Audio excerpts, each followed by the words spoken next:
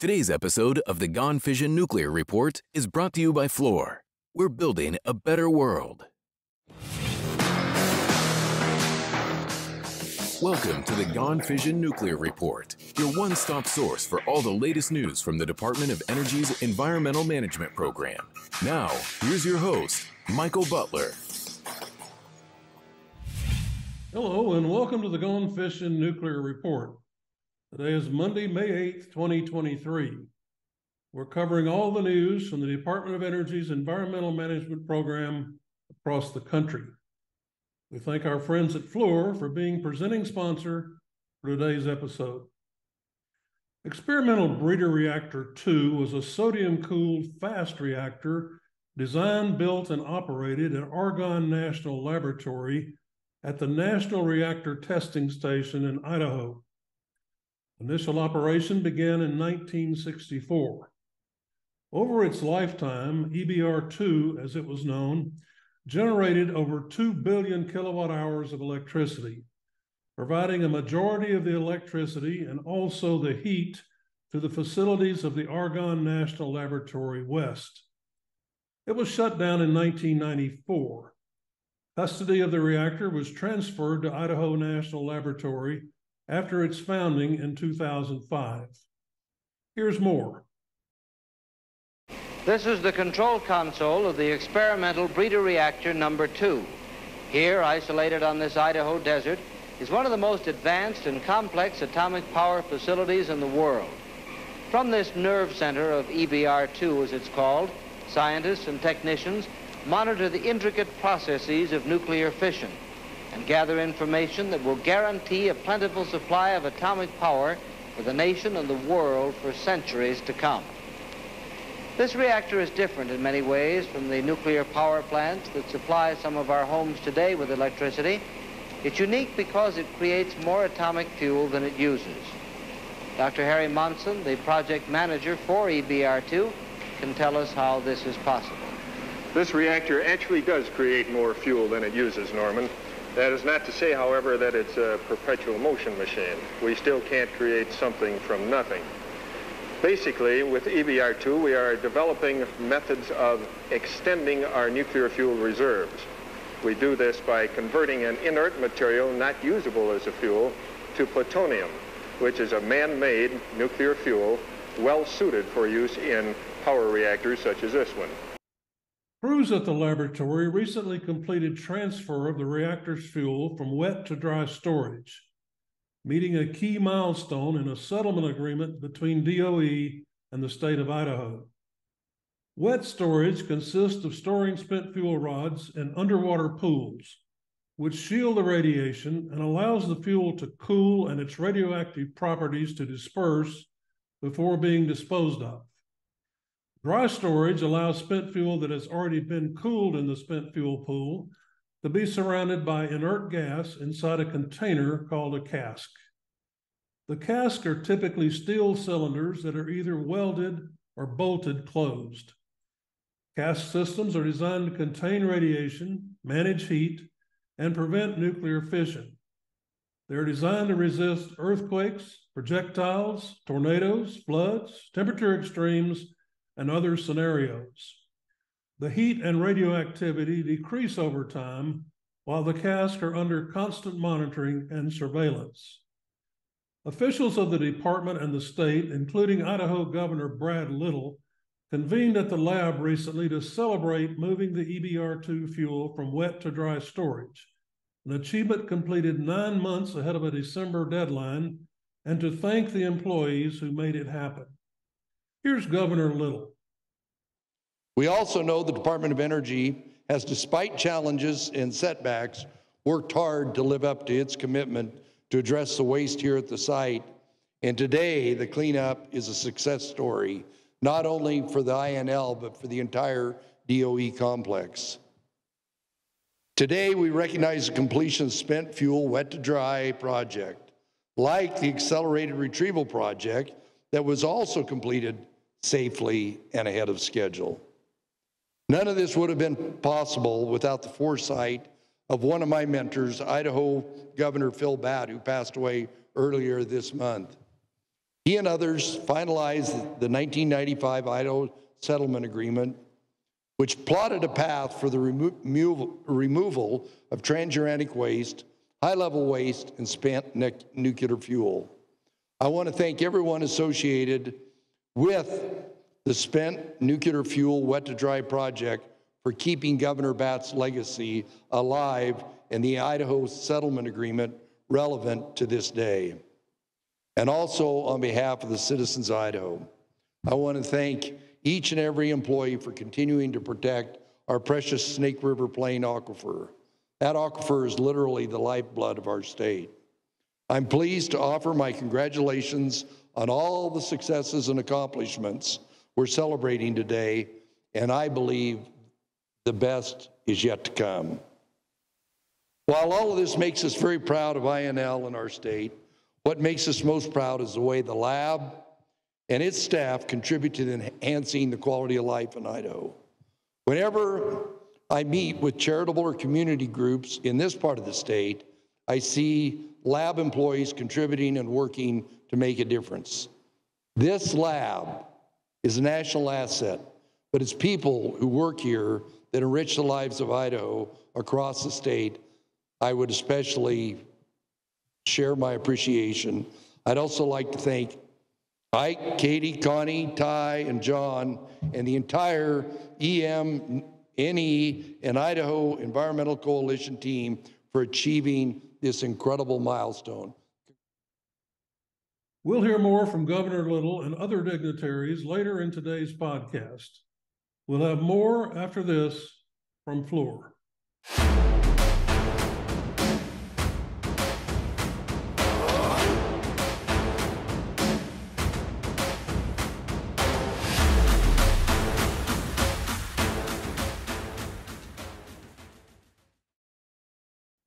Today, the Gone Fission Nuclear Report is celebrating a milestone with employees of the Idaho National Laboratory, the Department of Energy, and the state of Idaho. The last cask of EBR2 fuel from CPP 666 wet storage pool has been placed on the transport trailer and is ready for transfer to the fuel conditioning facility at MFC. This completes wet to dry project mandated in the 1995 Idaho Settlement Agreement. The Spent Nuclear Fuel Wet to Dry project epitomizes the word teamwork. For more than two decades, an agency, companies, organizations, and most importantly, skilled, dedicated people work together for a common mission. Thanks to everyone involved, the spent nuclear fuel is in a safer, more secure configuration with additional benefits to the Snake River Plain aquifer, Idaho's greatest natural resource. Crews safely retrieved, handled, repackaged, shipped, and placed in dry storage thousands of spent nuclear fuel elements, some dating back to the early days of the Cold War.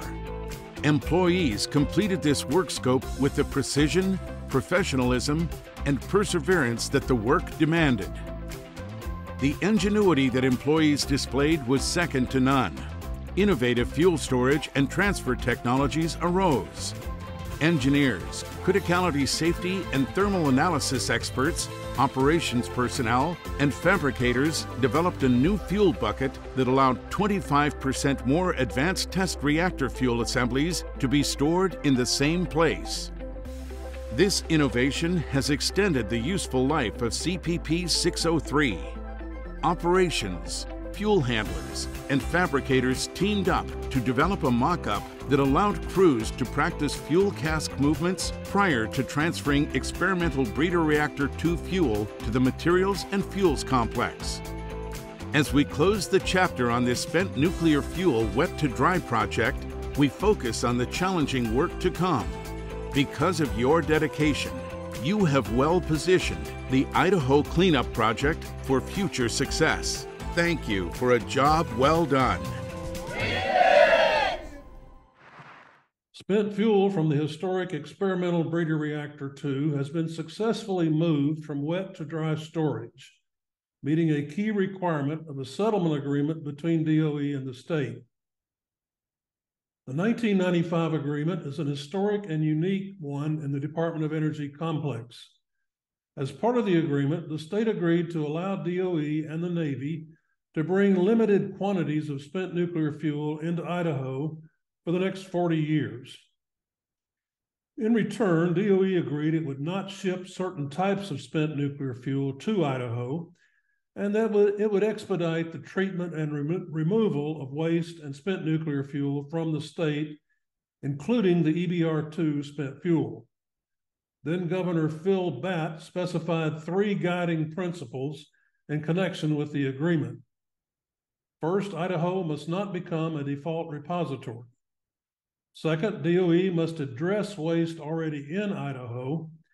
And third, instead of a cleanup and close down site, the INL must become a viable national laboratory. DOE has a long standing commitment to honor the agreement as recorded in this exchange between Congressman Mike Simpson and former Energy Secretary Steven Chu in 2010. Will you guarantee me that it is the intent of the Department of Energy that they will meet the milestones in the governor's agreement to the state of Idaho, uh, and does that include having all the SNF removed from the state of Idaho by the year 2035? So, in answer to your last question, the answer is a very simple yes, we intend to fulfill our obligation. As noted, officials of the department and the state, including Idaho Governor Little, gathered at the lab recently to celebrate moving the EBR2 fuel from wet to dry storage, an achievement completed nine months ahead of a December deadline, and to thank the employees who made it happen. Ty Blackford, Chief Executive of Idaho Environmental Coalition, opened the ceremony. So it goes without saying, as we look around this room, that it takes hundreds of people to accomplish tasks like this. Decades in the making, a lot of hard work, more than just a couple of people that do all those things. It includes engineers, it includes operators, maintenance craft, fabrication personnel. The list goes on and on and on, right down to even procurement and contracts. It takes all of us to accomplish these tasks. And it takes dedicated effort. These are not nine to five jobs. Jobs go seven days a week, 365 days a year to make sure that these jobs can be done. It's an absolute pleasure to be here with you all today. And I want to thank you, Ty, for the introduction. Thank you for the opportunity to be here. Uh, thank you for your partnership, your personal partnership that we've had, as well as the partnership that we have between our organizations. It's outstanding, and I want to thank you of everybody for that partnership. I also want to thank the state officials for coming, uh, particularly uh, Governor, Governor Little, Attorney General Labrador. As, as you may all know, they have unique responsibilities uh, for both cleanup and the research and development missions that we have at the laboratory. Uh, and so I very much appreciate their partnership uh, and their support for what we do here and what this kind of accomplishment enables for our research and development mission here at the laboratory. I want to thank the congressional delegations and their staff for, for not just coming, but for their support uh, and participation in what we do here. It's incredibly valuable. We're here today to celebrate a specific accomplishment, as you all know, the completion of a settlement agreement commitment of wet, to, wet transfer of the spent nuclear fuel on the site. And I'm pretty sure it's March 28th, and the deadline was December 31st of this year, so nine months ahead of schedule. Congratulations and kudos for that.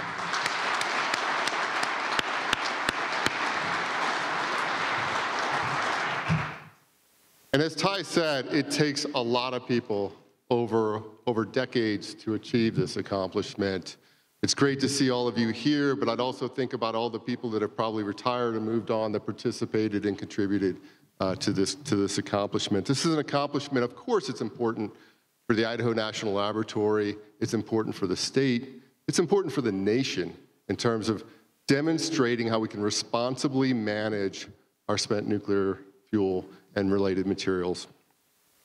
I'm really proud of all of you in the Idaho Environmental Coalition, all the people and staff in the Department of Energy, as well as the INL staff that contributed to this achievement. Collaborative efforts included things like acquisition of a new cask and transportation systems to provide redundant capability. I think I might have saw that cask out here behind us. Implementation of risk reduction activities that expanded storage capacity in our fuel conditioning facility uh, and increase the number of shipments, and that's part of how we were able to do this ahead of schedule. Implementation of a new strategy to take ATR fuel directly to uh, here to INTEC to 603 and kind of avoiding wet storage altogether. And importantly, a lot of those materials, or at least the EBR2 spent nuclear fuel materials that were transferred over to the fuel conditioning facility, have been and are in the process of being processed to recover that high enriched uranium, to downblend and clean that to high assay LEU, and turn what would have been waste materials into fuel for new advanced reactors, uh, both on this, well, particularly on the site. And so that's a huge, huge, I mean, positive story that I hope people understand. Repurposing what was considered waste, which was originally being processed to be disposed of, to, to meet a critical, actually urgent need related to advanced reactor demonstration and deployment. So that's just a fantastic story in my mind. Of course, I'm a nuclear engineer, so I care a lot about that. But the partnership between Idaho Environmental Coalition and the laboratory has led to this success, which will also enable future accomplishments and success on this laboratory, and again, related to our mission for nuclear energy. So again, it's an honor to be here. I appreciate very much the opportunity. But then lastly, I guess I, I wanted to say, and, and, I know Connie and Ty have probably heard this from me uh, many times, I don't think we celebrate enough the successes related to cleanup on this site. I, I don't think the community, many in the state and many around the nation realize how much has been accomplished over the last couple decades here. We just, you, you all just kind of do it quietly.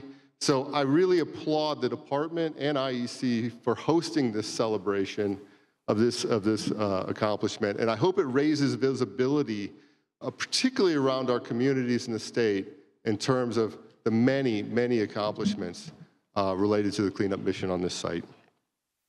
So with that, I would like to now turn it over to my friend and colleague, uh, Dr. Katie Huff. Katie is the Assistant Secretary for the Department of Energy's Office of Nuclear Energy. Prior to that, she's had roles in the Department of Energy, including Senior Advisor to the Secretary of Energy, uh, as well as the Principal Deputy before she became the Assistant Secretary. Katie has a long understanding and deep understanding of nuclear energy, but also nuclear fuel cycles and spent nuclear fuel materials. Prior to joining the Department of Energy, she was assistant professor, so she might, she might, she might teach us, um, at uh, the University of Illinois Urbana-Champaign, where she led a research group on advanced reactors and nuclear fuel cycles. So it's absolute pleasure to work with her and to introduce her now. Dr. Katie Huff.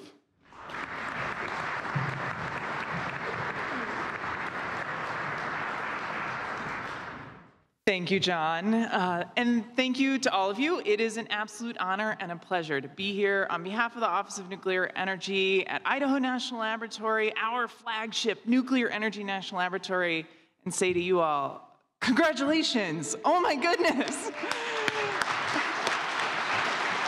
Thank you to those of you who have helped, all of you in this room and outside this room, across the complex, who have helped the Department of Energy complete this tremendous milestone.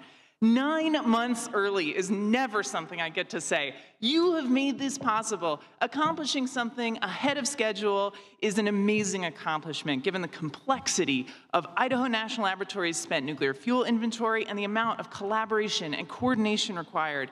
These kinds of accomplishments demonstrate the real dedication of our Idaho National Laboratory and Idaho Cleanup Project employees the Office of Environmental Management, uh, Naval Reactors Idaho Branch Office. We are so lucky to have people like you here at Idaho National Laboratory accomplishing these missions. Idaho National Laboratory, of course, has a long history of nuclear energy research and development, and it's an integral part of our nation's energy security and future energy transition.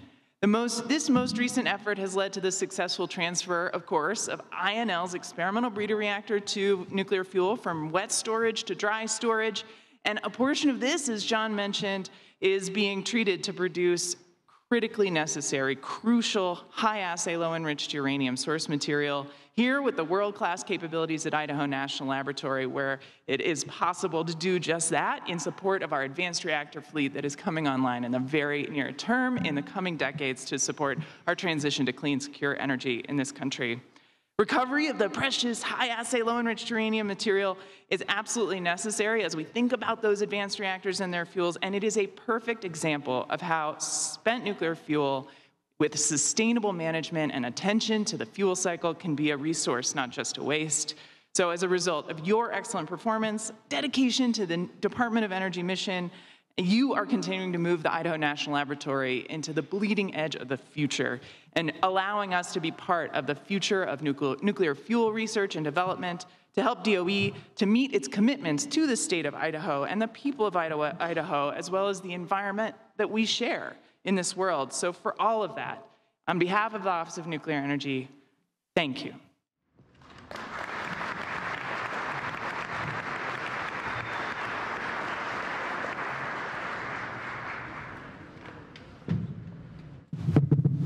All right, and now it is my honor and pleasure to introduce to you uh, Connie Flohr, manager of the Idaho Cleanup Project, my boss. What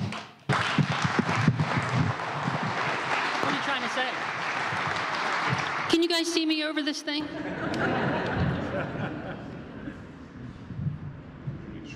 You can hear me good? So those of you who know me know I get a little giddy over these kinds of of uh, events, but I'm not sure I could follow that kind of an exuberance. That's pretty, that's pretty significant there. So thank you, Ty. Good afternoon, everybody, and welcome. Uh, the Idaho Cleanup Project contractor team, the Idaho Coalition, IEC, is the cornerstone of this achievement, building on a long history of success here in Idaho. And I was just talking to Ike at lunch today, and he made the comment that this is actually his third trip to Idaho in the time that he has been the leader of the EM program. So I think we're only the second site where that is true. So that's a pretty significant accomplishment for the workforce here. But this is an exciting day. I'm very proud of my team's accomplishment. Thank you all for coming to celebrate the completion of the removal of spent fuel from the wet storage nine months ahead of schedule. Um, we're grateful for the support of the Naval Reactors team and the Idaho National Laboratory for their collaboration on this achievement. It would not have been done had we not all worked together, especially in the last few months where we really had to do some innovative things to be able to make sure we could get these last few retrievals out of there. Uh, if you walk through the doors behind you, those overhead doors, you would actually see the site of the empty pool. And that is a testament to the hard work, vision, and collaboration of all of you in this room and all of the organizations with which you're associated. And the long list of supporters that we have had, as have some others have noted, most notably the workers of the Idaho Environmental Coalition and their predecessors, Fluor, CWI, BBWI. Uh, Mayor Casper and other community leaders have been great supporters of this effort. State of Idaho, congressional leaders and staff, the Sho-Ban tribes, the EPA, and the Department of Environmental Quality. I'm honored to be among you today to share in this achievement, so please accept my heartfelt gratitude. I look forward to celebrating future achievements with you as we fulfill our environmental responsibilities to this great land. And it's now my privilege to introduce Ike White, the Senior Advisor for DOE's Office of Environmental Management.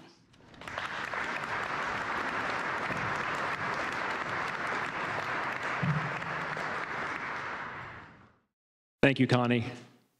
It's an honor and it's a privilege to be here personally to thank the entire Idaho team for an outstanding job once again. The completion of the wet to dry spent nuclear fuel transfers was made possible with a lot of hard work, a lot of dedication, and a lot of collaboration from many people in the decades since we signed the Idaho Settlement Agreement. Considering all of the hurdles, including working in a pandemic for three years, it is really a remarkable feat and it's a testament to our greatest asset, the men and women at cleanup sites who actually make this really difficult and demanding work happen. So thanks to all of you for, for your commitment in getting that done. These events really are my favorite kind of event because I not only get to meet all of the folks who make this work happen in the field, but I also get to join you in celebrating accomplishments that really move our cleanup program forward. One of the things that Connie did mention was all three times that I have been in Idaho has been to celebrate getting one of our regulatory milestones done ahead of schedule. So thanks to all of you for making that happen. These high priority commitments help us protect the Snake River Plain Aquifer. They achieve commitments we've made to the state of Idaho, and they demonstrate that all of us working together can, in fact, get these things done both safely and efficiently. The environmental management mission is very large, complex, and it's difficult, as all of you know. And our successes are built by people overcoming the day to day challenges until our completions and our commitments are met. I very much appreciate the collaboration we've had within DOE. Thanks to the Idaho National Laboratory and the Office of Nuclear Energy for their partnership with IEC and the cleanup program in making this particular milestone happen. And I also appreciate the ongoing teamwork that Katie mentioned that we have with naval reactors and with nuclear energy as we work together to meet future commitments and challenges here at Idaho. To all of you who made all of this work happen, Thank you very much for your dedication, your expertise, your professionalism, and most importantly, thank you for helping us protect the environment. To the people who oversaw, regulated, and enabled this work, thank you for working with us to create an environment where we can all be successful together. As we close this chapter, it's only fitting that we have Governor Little, Attorney General Labrador, Councilman Ladd Edmo from the Fort Hall Business Council, representatives from the Idaho Congressional Delegation, and mayors and other community leaders here today. All of you have worked hand in hand with our leadership at the site here to bring a project like this to a successful conclusion. It's very much an honor to have distinguished guests like that with us here today. The laboratory here in Idaho is fortunate because we're surrounded by strong state and local partners who are aligned around advancing cleanup and planning for the future. And for the cleanup program, that is particularly important. It's not an accident that the areas around the country where we have the greatest progress are areas where we have the best alignment between DOE, tribal nations, state regulators, affected communities, and others. It speaks to the power that you can have when you have a shared vision and mutual goals that we're working on together. So again, I want to extend a special thank you to the state of Idaho and the leadership that's represented here today. I look forward to celebrating other accomplishments with you in the future. And with that, I would like to turn it over to Governor Little, who will be followed by Attorney General Labrador. Governor, over to you.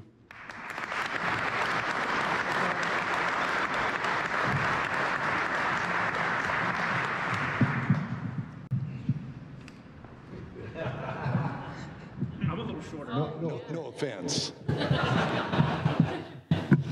uh, well, thank you. I, uh, when, when Ty was given the seat, safety briefing, it would have been shorter, but given there's two politicians talking, you might get something on your shoes. So uh, uh I'm delighted to be here. I, uh, it was a, a, a year ago when we celebrated again a milestone uh, that we made, and uh, it, and it was a great celebration.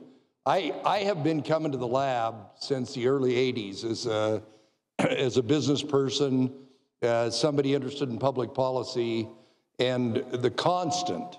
Uh, we've had quite a few contractors, we've had quite a few lab directors, uh, but the one constant is the dedicated people uh, that do the hard work day in and day out uh, to get this um, mission accomplished. I want to commend everybody uh, for what you've done. Uh, you've had an enormous project on, you know, in my field, in the confidence of Americans and Idahoans about the work that's done here. Uh, the fact that in a safe, clean, uh, reliable uh, quest to have nuclear energy uh, not only for the United States, but for the world. INL continues to be a leader in testing and demonstrating new nuclear technologies that will provide the power that this generation the next generation will need. INL is also a critical contributor to national security capabilities.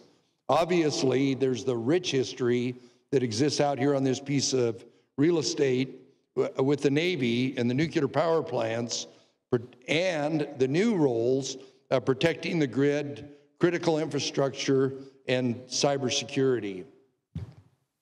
And who could forget uh, the nuclear battery fueled uh, that was developed here by the lab uh, for the Mars Curiosity rover? Uh, is just one of the, not only statewide, not only regional, not only in the world, but literally in the galaxy. We also know the Department of Energy has, despite challenges and setbacks, worked hard to live up to its commitment to address the waste here at the site. And today, the cleanup is a success story, not only for the INL, but for the entire DOE complex. Today, we recognize the completion of spent fuel wet to dry project, like the accelerated retrieval project that was also completed safely and ahead of schedule. None of this would have been possible without the foresight of one of my mentors, Idaho Governor Phil Batt, who passed away earlier this month. He and others finalized the 1995 Idaho Settlement Agreement, which plotted a path for the remo removal of transuranic waste, high level waste, and spent nuclear fuel. I want to thank everyone associated with the spent nuclear fuel wet to dry project for keeping Governor Batt's legacy alive and the Idaho settlement agreement relevant to this day. And also on behalf of the citizens of Idaho, I want to thank each and every employee for continuing to protect our precious Snake River Plain aquifer. That aquifer is literally the lifeblood of our state. I'm pleased to offer my congratulations on all the successes and accomplishments we're celebrating today, and I believe the best is yet to come. While all of this makes us very proud of INL and our state, what makes us most proud is the way the lab and its staff contribute to enhancing the quality of life in Idaho. Whenever I meet with charitable or community groups in this part of the state, I see lab employees contributing and working to make a difference. This lab is a national asset, but it's people who work here that enrich the lives of Idaho across the state. I would especially share my appreciation. I'd also like to thank Ike, Katie, Connie, Ty, and John, and the entire EM, NE, and Idaho Environmental Coalition team for achieving this incredible milestone. Congratulations.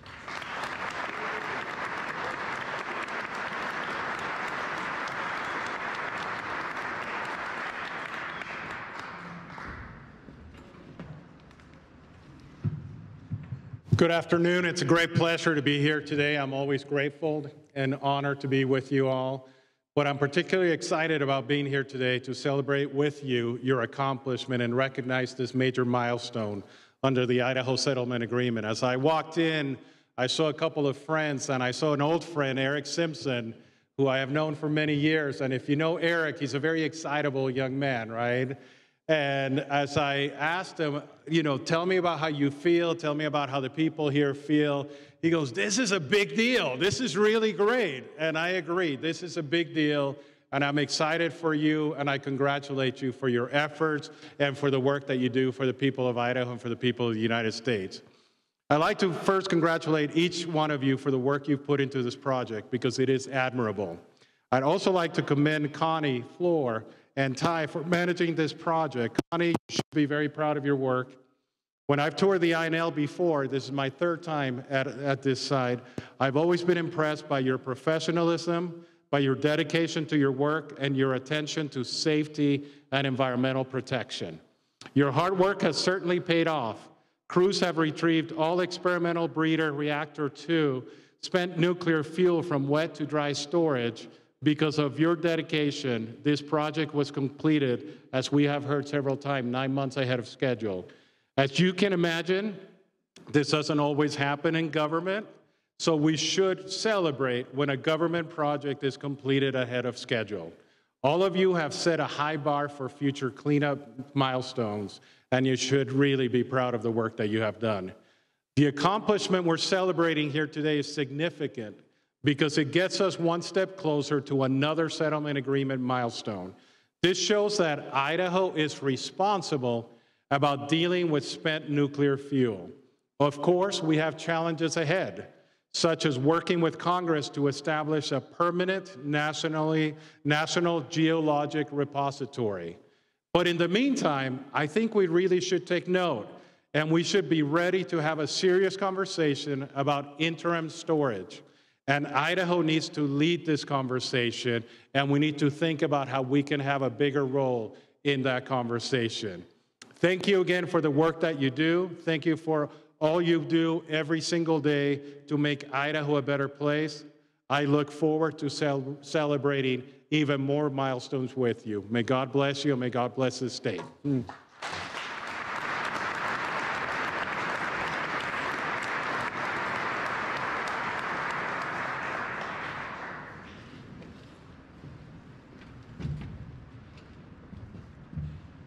Good afternoon, everyone. I'm Mike Matthews. I'm the Idaho Deputy Chief of Staff for Senator Risch, and we thank you for having us here. I'm with Catherine Hitch from Senator Crapo's office. And uh, the congressional delegation has entered into the congressional record um, a, a statement from the congressional from the congressional delegation about this milestone that has taken place in the cleanup at INL. And just to give you a little historic background on the congressional record. Um, from the beginning of, of our nation, basically, uh, they have recorded the um, proceedings and the official proceedings of Congress. Um, it was under a couple of previous names, the Annals of Congress, uh, Congressional Globe, and in 1873, it solidified around the name Congressional Record. And that keeps track of all of the official proceedings of the U.S. Senate and the U.S. House of Representatives. And that gets then stored or recorded into the Library of Congress, where it is there forever, basically, or at least until hopefully, hopefully forever, because I want our nation to last forever. And so it will be there if you ever need to look up any hysterical, historic, not hysterical, but, but historical um, um, uh, events or legislation or major milestones like this particular milestone, you can look it up in the congressional record. And I remember back in the 1990s, I'm old enough to remember when this settlement, it was not only Idaho news, it was national news, and it, it is um, very wonderful to see. And I know the senator, our senators feel like it's very wonderful, and our delegation, that they that Idaho has met those milestones that were set out in that settlement agreement. And so they've recorded that in the congressional record, and Catherine Hitch from our senior senator's office will be reading that statement. So thank you for having us.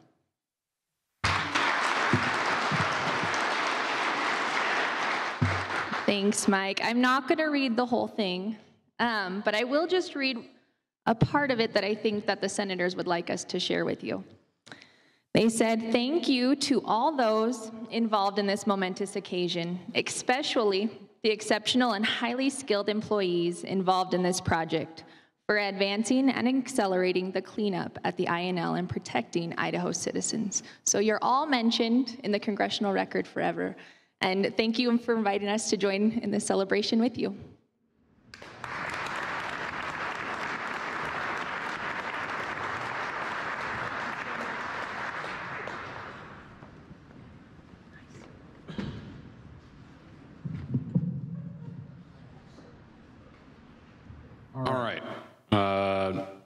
Thank you all very much for your comments, and thank you all for coming here and celebrating with us today.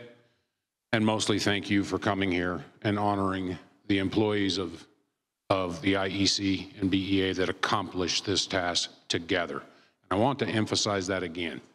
You did it together, not apart, not as a conflict, but as a team, as a whole. We are very proud of you. We are honored to be here today uh, to honor your accomplishment. Uh, and I would say I speak for all sitting up here. We are humbled today to be in your presence. Thank you very much. again, give yourselves another round of applause for a job very, very well done.